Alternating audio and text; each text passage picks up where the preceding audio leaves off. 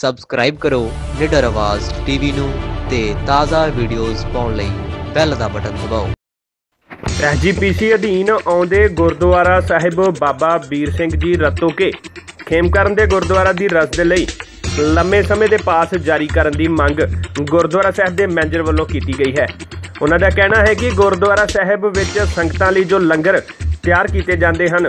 ਉਹਨਾਂ ਦੀ ਰਸਦ ਲਈ ਐਸਡੀਐਮ ਪੱਟੀ ਵੱਲੋਂ ਉਹਨਾਂ ਨੂੰ ਸਿਰਫ 24 ਘੰਟੇ ਦਾ ਪਾਸ ਜਾਰੀ ਕੀਤਾ ਜਾਂਦਾ ਹੈ। ਜਦਕਿ ਬਾਅਦ ਦੁਪਹਿਰ 2 ਵਜੇ ਉਹਨਾਂ ਨੂੰ ਮਿਲਦਾ ਹੈ।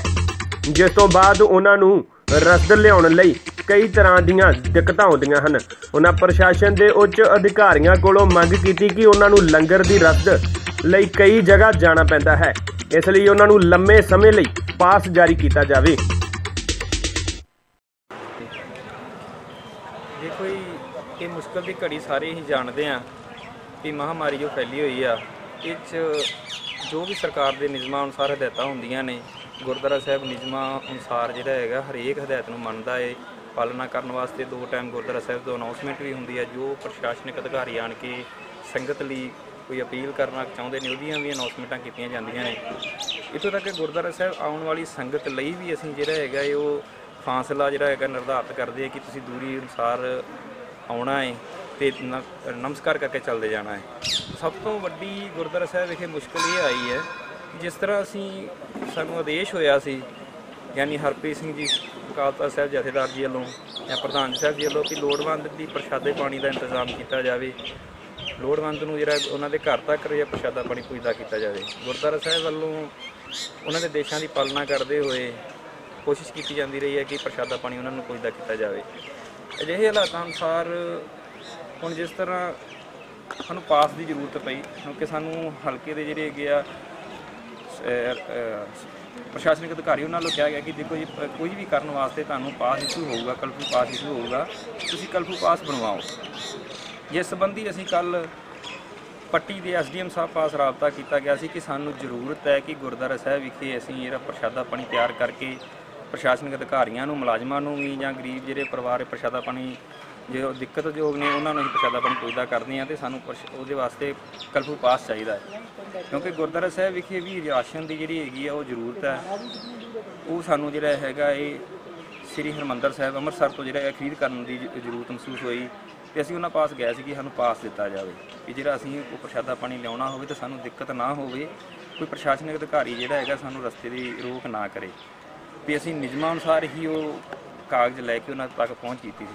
ਪਰ ਉੱਥੋਂ ਵੀ ਸਾਨੂੰ ਜਿਹੜਾ ਹੈਗਾ, ਪਹਿਲਾਂ ਤਾਂ ਕਾਫੀ ਦਿੱਕਤਾਂ ਦਾ ਸਾਹਮਣਾ ਕਰਨਾ ਪੈਂਦਾ ਰਿਹਾ। ਕਦੀ ਕਿਸੇ ਅਧਿਕਾਰੀ ਨੂੰ, ਕਦੀ ਕਿਸੇ ਅਧਿਕਾਰੀ ਨੂੰ ਮਗਰ ਮਗਰ ਫਿਰਦੇ ਰਹੇ ਅਸੀਂ। ਜੇਕਰ ਪਾਸ ਇਸ਼ੂ ਹੋਇਆ ਤੇ ਆਲਰੇਡੀ ਸਿਰਫ ਇੱਕ ਦਿਨ ਦਾ। ਜਦ ਕਿ ਅਸੀਂ ਸਵੇਰੇ 10:30 11 ਵਜੇ ਉੱਥੇ ਪੱਟੀ ਐਸਡੀਐਮ ਸਾਹਿਬ ਦਫ਼ਤਰ ਪਹੁੰਚ ਗਏ ਸੀ। 2 ਵਜੇ ਦੇ ਲਾਗੇ ਸਾਨੂੰ ਜਿਹੜਾ ਹੈਗਾ ਇਹ ਪਾਸ ਮਿਲਦਾ ਹੈ। ਉਹ ਵੀ 12 ਤਰੀਕ ਦਾ ਹੀ ਮਿਲਦਾ ਹੈ। ਕਿਉਂਕਿ ਜਿਹੜੇ ਸਾਡੇ ਸ਼੍ਰੋਮਣੀ ਕਮੇਟੀ ਦੇ ਕੁਝ ਨਿਯਮ ਹੁੰਦੇ ਨੇ, ਕੋਈ ਅਧਿਕਾਰੀ ਦੀ ਡਿਊਟੀ ਲਵਾਉਣੀ ਪੈਂਦੀ ਆ ਉਹ ਉਸੇ ਦਿਨ ਵਿਚਕਾਰ ਨਹੀਂ ਫੋਲੋ ਕੀਤੇ ਜਾ ਸਕਦੇ ਹੁੰਦੇ। ਕਿਉਂਕਿ ਉਹਦੇ ਲਈ ਪਹਿਲਾਂ ਸਾਨੂੰ ਉਹਨਾਂ ਨਿਯਮਾਂ ਅਨੁਸਾਰ ਜਿਹੜੇ ਹੈਗਾ ਅਧਿਕਾਰੀ ਡਿਊਟੀ ਲੈ ਕੇ ਭੇਜੀ ਜਾਂਦੀ ਹੈ ਫਿਰ ਉਸ ਡਿਊਟੀ ਲੱਗਦੀ ਹੈ ਉਹ ਜਿਸ ਦਿਨ ਦੀ ਡਿਊਟੀ ਲੱਗਦੀ, ਉਸ ਦਿਨ ਅਸੀਂ ਖਰੀਦ ਕਰ ਸਕਦੇ ਹੁੰਦੇ ਹਾਂ। ਇਸ ਸੰਬੰਧੀ ਅਸੀਂ ਚਲੋ ਬੇਨਤੀ ਕੀਤੀ ਸੀ ਐਸਡੀਐਮ ਸਾਹਿਬ ਨੂੰ ਕਿ ਅਸੀਂ ਰਾਸ਼ਨ ਪਾਣੀ ਜਿਹੜਾ ਹੈਗਾ, ਇਹ ਖਰੀਦ ਕਰਨ ਜਾਣਾ ਹੈ। ਸਾਨੂੰ ਜਿਹੜਾ ਕਲਫੂ ਪਾਸ ਬਾਏ ਨੇਮ ਡਰਾਈਵਰ ਜਾਂ ਕੋਈ ਜਿਹੜੀ ਗੱਡੀ ਜਾ ਰਹੀ ਆ, ਟਰੈਕਟਰ ਜਾ ਰਿਹਾ ਉਸ ਦੀ ਵੀ ਅਸੀਂ ਬਕਾਇਦਾ ਲਿਖਤੀ ਦਿੱਤਾ ਗਿਆ ਸੀ। ਉਹਨਾਂ ਵੱਲੋਂ ਸਿਰਫ ਸਾਨੂੰ 12 ਤਰੀਕ ਦਾ ਪਾਸ ਦਿੱਤਾ ਗਿਆ ਵੀ 12 ਤਰੀਕ ਨੂੰ ਤੁਸੀਂ ਖਰੀਦ ਕਰ ਸਕਦੇ ਹੋ ਜਦ ਕਿ 12 ਤਰੀਕ ਨੂੰ ਮੈਂ ਮੰਗ ਕਰ ਰਿਹਾ ਹਾਂ ਤੇ 2 ਵਜੇ ਮੈਨੂੰ ਕਲਫੂ ਪਾਸ ਦਿੱਤਾ ਜਾ ਰਿਹਾ ਹੈ 24 ਘੰਟੇ ਦੇ ਅੰਦਰ ਵਾਸਤੇ। ਉਹ ਜਿਹੜਾ ਹੈਗਾ, ਇਹ ਕਾਫੀ ਦਿੱਕਤਾਂ, ਇੱਕ ਰੇੜੀ ਵਾਲਾ ਹੈ, ਸਬਜ਼ੀ ਵੇਚਣ ਵਾਲਾ ਹੈ ਜਾਂ ਕਰਿਆਨੇ ਵਾਲਾ ਹੈ, ਉਹਦੇ ਵਾਸਤੇ ਪਾਸ ਦੀ ਕੋਈ ਲਿਮਟ ਨਹੀਂ।